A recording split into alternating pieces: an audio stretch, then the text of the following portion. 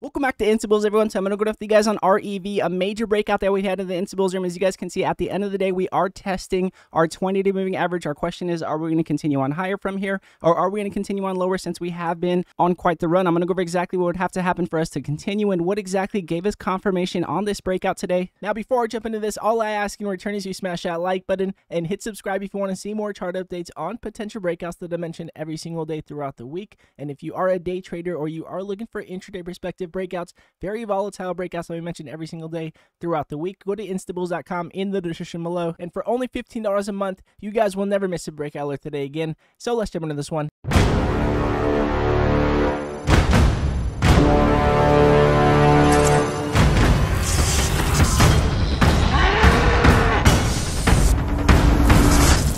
So jumping into the five minute chart with you guys here on REV, we did mention them since $5.50. I think we mentioned them a little earlier on a spike at $4.50. And then we did continue on higher, breaking up all the way up over $9 on the day, just under $10. So I would be looking to see if we can at least jump back over 10 if we were going to be looking for that continuation. Our question going into tomorrow is to see if we can continue to respect our 20 moving average or to see if we can get back above it, to see if we can continue on higher and continue on with that momentum. But again, a major run here with REV. Again, this is an old short squeeze stock that we had a major break breakout with after having a major breakout in the InstaBulls with QRTEB. We had a major breakout here with REV. As you guys can see on our MACD, we do have our strength. Again, we do have our increase in sell pressure at the end of the day, showing us a lot of decrease in momentum to the upside. So I definitely would be careful. We do have our EMA lines crossing down here, still above the median of our MACD, showing us that we still could continue. So that's why people will keep REV still on the watch, just like we mentioned in the last video with QRTEB. Now looking at our relative strength, as you guys can see, we are jumping out of overbought territory. We want to see if we can jump back into overbought territory. Very similar, again, to QRTEB. As you guys can see on QRTEB, we also do have our EMA lines crossing down here above the median of our MACD, and we also are jumping out of overbought territory, looking to see if we can jump back into overbought territory. In my opinion, if QRTEB continues to break out tomorrow, then I definitely would keep an eye on REV for that possible momentum from QRTEB. But again, going to tomorrow, just looking to see if we can jump back over our 20 moving average. We still have our 20 over our 50, showing us that we still can continue. We did again get that rejection just below our $10 psychological resistance, and that could mean